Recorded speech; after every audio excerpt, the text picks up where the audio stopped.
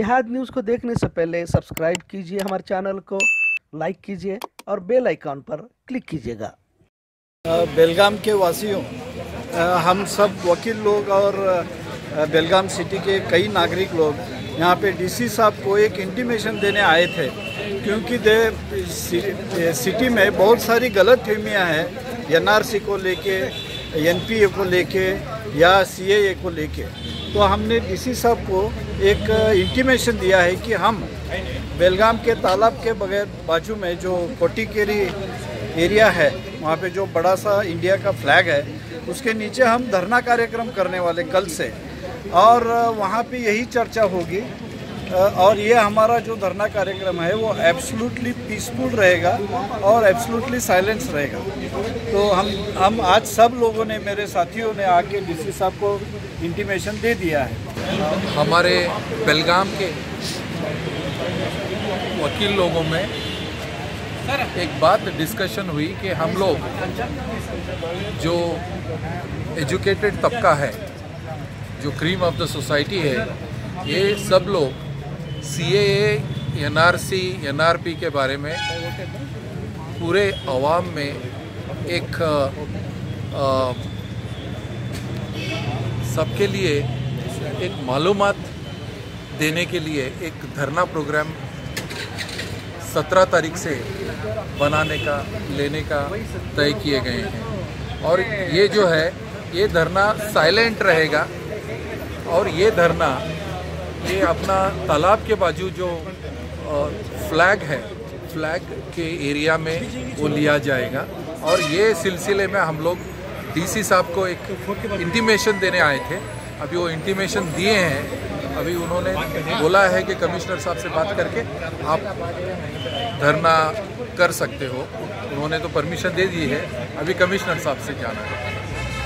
तमाम उलमा इकराम और बेलगाम के सभी मिलके एक फैसला ले चुके हैं कि C A N P R N R C के अगेंस्ट में एक कंटिन्यूस धरना देना। ये धरना पीसफुल होगा और पूरे ज़िले के लोग, पूरे डिस्ट्रिक्ट के लोग इसमें शामिल होंगे। यही हम डीसी साहब को इंटीमेशन देने आए थे कि वहाँ पे जो भी पुलिस बंदोबस्त लगेगी ट्रैफ़िक के लिए बंदोबस्त लगेगी सिक्योरिटी लगेगी, ये हमें दे।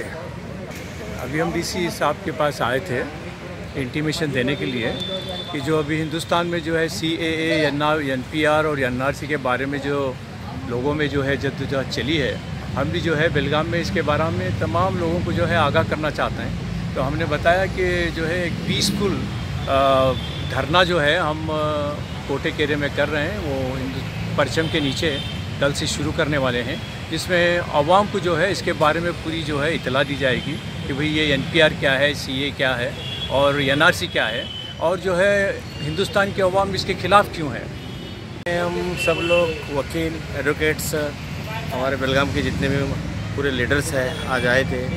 N R C C N P R के बारे में, जो तालाब के पास, जो अपना एक लेक है, उसके नीचे, एक फ्लैग के नीचे सब लोग बेलगाम डिस्ट्रिक्ट के सब लोग बटेंगे इसके पीछे हमारी एक्शन कमेटी एक काम कर रही है। उसमें हर तरीके के ओलमा और बेलगाम के पूरे लीडर्स और एडवोकेट्स सब मिल के काम कर रहे हैं। और ये धरने का मतलब ये है कि बहुत सारे लोगों को N R C C N के बारे में मालूम नहीं है। वो जागरूक प्रोग्राम, ये क्या है उसके बारे में मालूम देने के लिए प्रोग्राम किया है। और इसके हम, इस बिल के सब लोग खिलाफ हैं।